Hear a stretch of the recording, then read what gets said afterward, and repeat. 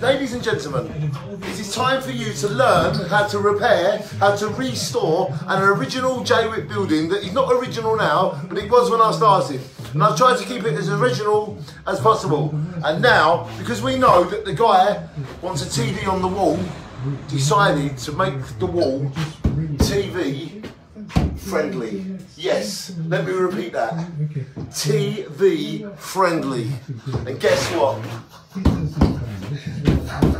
Solid as a hardcore bowl of porridge. Are you ready for this?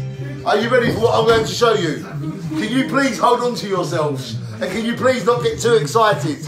I'm going to show you what this and what this can do.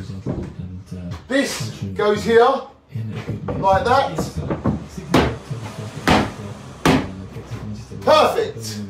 And then this attaches it Lovely, thank you.